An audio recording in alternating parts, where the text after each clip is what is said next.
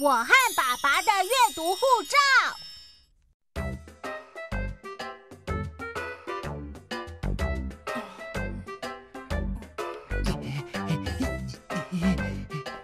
吃水果喽！你们父子俩吃饱饭只顾着玩手机，有多久没有好好相处说话啦？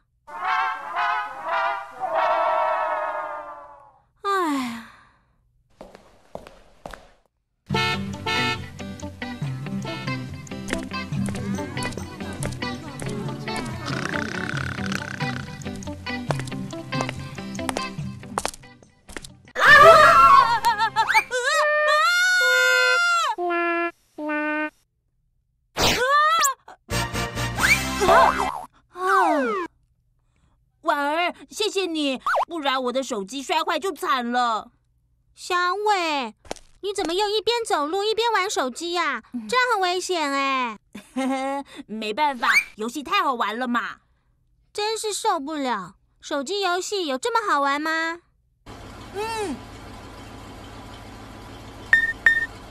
行动图书馆哎，我在电视上看过哦。嗯，行动图书馆那是什么啊？大家都拿到阅读护照了吗？拿到了。很好，我们现在就到行动图书馆借书回家，和爸爸妈妈一起开始阅读游戏。阅读游戏会有手机游戏好玩吗？只要和爸爸妈妈一起看完一本书，就能在阅读护照上盖一张。第一个将阅读护照盖满的同学，就可以得到老师的纪念小礼物哦。哇，好我礼物哎书啊，要拿到。对啊。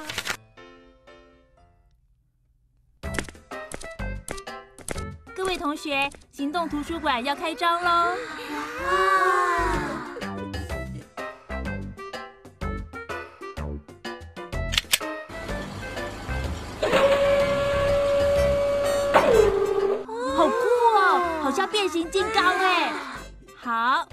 谁要第一个借书呢？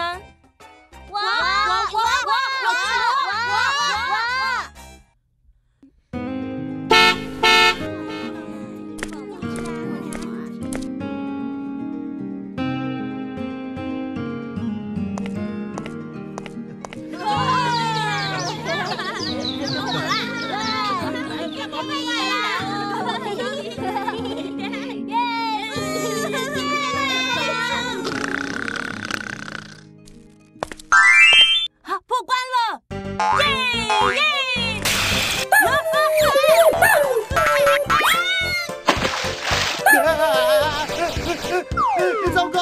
的手机！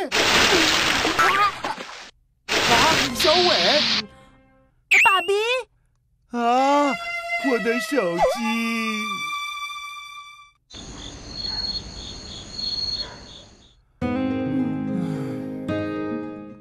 手机泡到水都坏掉了。早知道就应该买有防水功能的。我受够了！你们两个通通给我放下手机！啊你们一天到晚玩手机，有多久没有跟对方好好相处说话啦？难道手机比家人还要重要吗？我看你们关心手机比关心彼此还多。嗯，哎，这是什么啊？这是老师发给我们的阅读护照，只要看完一本书，就可以在上面盖一个章。可是都浸湿了，还有故事书也湿了。没关系，爸比可以用吹风机把阅读护照和故事书吹干。啊，真的可以吗？先试试看嘛，然后我们再一起读更多的书，把阅读护照里面的章全部盖满。太棒了，爸比！这才是一家人嘛！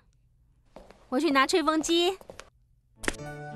大家有没有发现，随着手机、电脑等三 C 产品越来越普遍，我们和家人相处的时间好像也变少了。原来除了看电视、玩手机和玩电脑，我们还有别的选择。试着和家人在阅读中培养感情，成为真正的书香世家吧。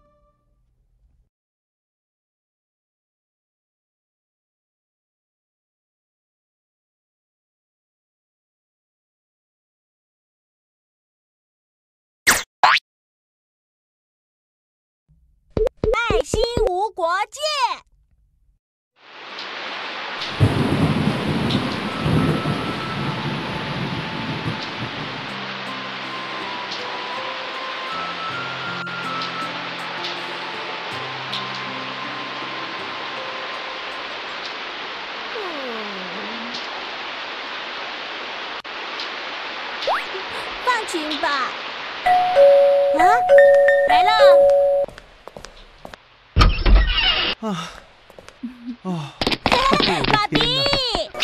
雨真的有够大，这大雨下多久了？下好多天了，害我都不能出去玩。唉，我这次去柬埔寨出差，那边也是大雨不断，灾情很严重。啊？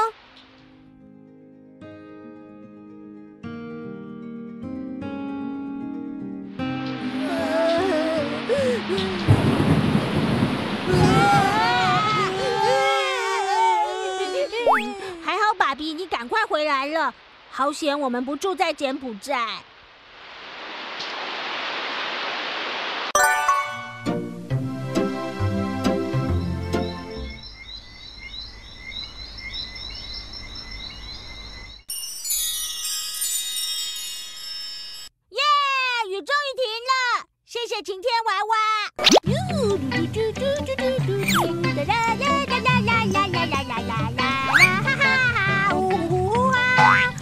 嘟嘟嘟嘟嘟嘟滴滴，啦啦啦啦啦啦，呜。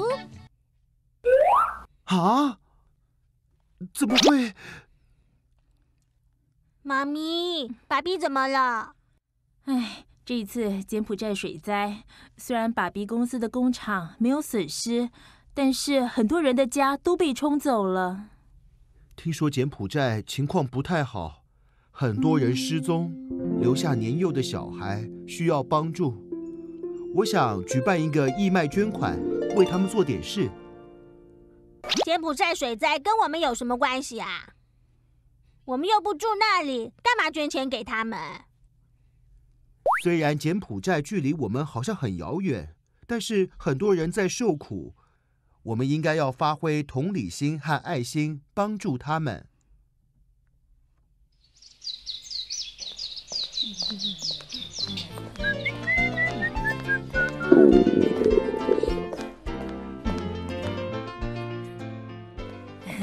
弟弟要吃什么啊？阿姨，请给我一碗面。好的，请坐，面马上来。柬埔寨连日豪大雨，造成严重水灾，而且大雨并没有停止的迹象。许多孩童在暴雨中失去了亲人，也失去了挡风避雨的家，只能栖身在临时避难所。来，汤哦，小心吃。我，呃，阿姨，我我忘记带钱了。没关系啦，面阿姨请你吃。谢谢阿姨，我再拿钱来还你。没关系啦，先吃先吃啦。好香哦！刚刚电视上的那个男孩，好像跟我差不多年纪耶。我在这里吃面，但是他却没有东西吃，还失去了家和家人。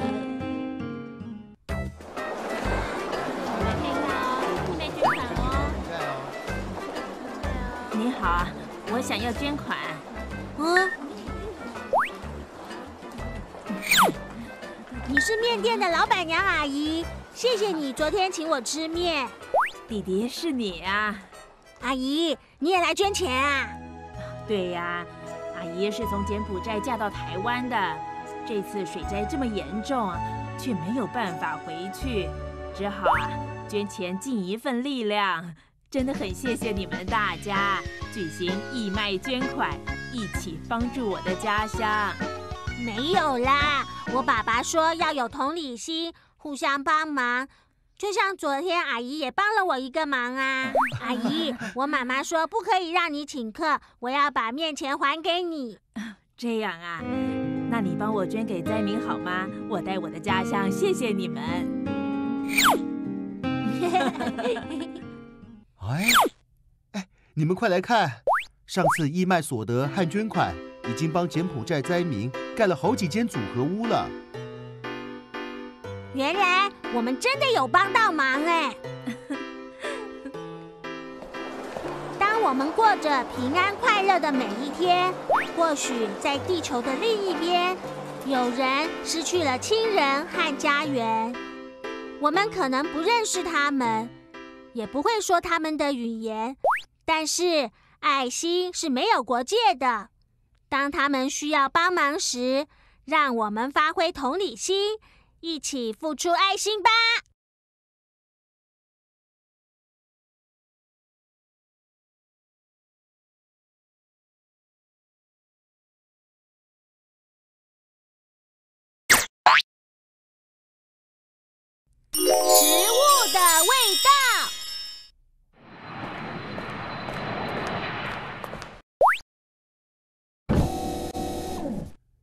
请问三位今晚吃什么？A 套餐，谢谢。请给我 C 套餐。我要 B 套餐。好的，请稍后。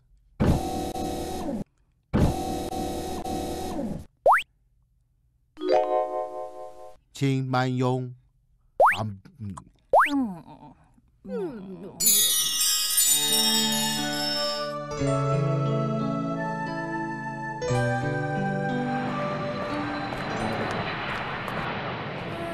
食物真的都会被药丸代替吗？恶心！我才不要每天吃药呢。这样根本不知道吃了什么东西吧？你们真是大惊小怪，根本不用等到未来。我们现在吃的东西有很多都是经过加工的食品，根本不是食物。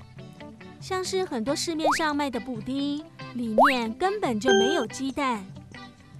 果汁里面也没有水果，好喝的汤根本不是用新鲜食材熬煮的，而是用调味粉、人工色素调出大家喜爱的味道。啊，什么？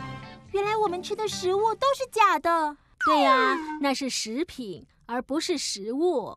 好恐怖哦！这样我们会不会变成生化人啊？我要吐了！我昨天才吃了一盒布丁，喝了一杯果汁，还一碗汤。以后少吃加工的食品，要吃就吃真正的食物。明天我就带你们三个去吃好吃的。好喂！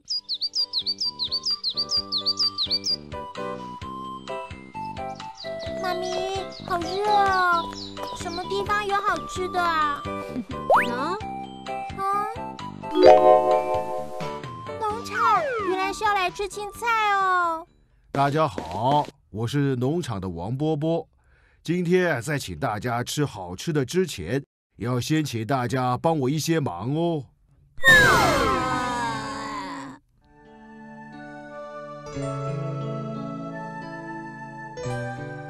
首先呢，请大家帮我采收这些青菜，很简单，就像这样。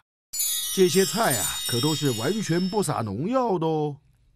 不撒农药，菜虫怎么办啊？用手一只一只慢慢抓吗？是啊，大概差不多是这样。除虫都是靠它们。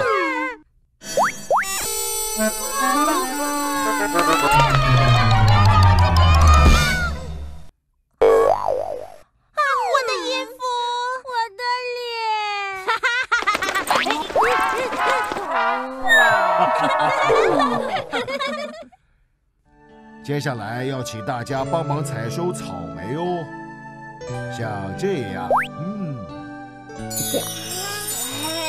这些草莓也是完全不撒农药、不施化肥。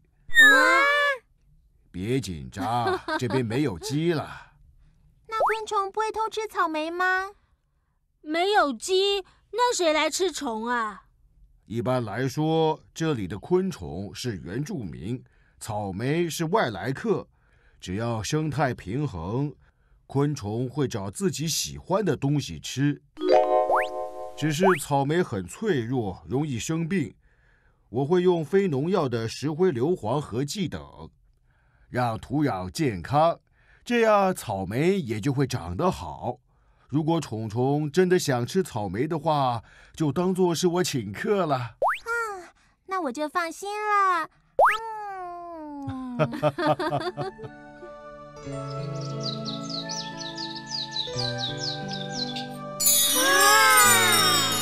这些青菜和水果都是刚刚你们采收的哦，还有鸡蛋，都是那些野放吃自然新鲜食物的鸡生的，所以有一种说不上来特别的好味道哦。还有这些草莓果酱，都是用新鲜的草莓做成的，没有放任何人工色素和化学调味，吃吃看吧。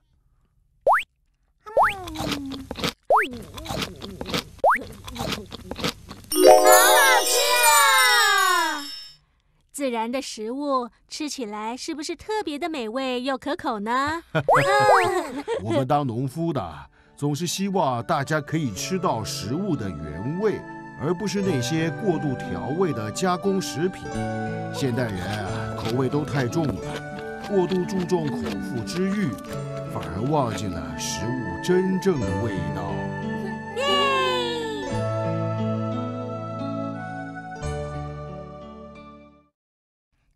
人追求口味多变，只在乎东西好不好吃，而忘了是否健康。这样一来，时间一久，我们习惯了色素和加工品，反而忘记了食物真正的味道。良好的饮食习惯应该要从小养成，只要身体健康了，快乐自然就会来。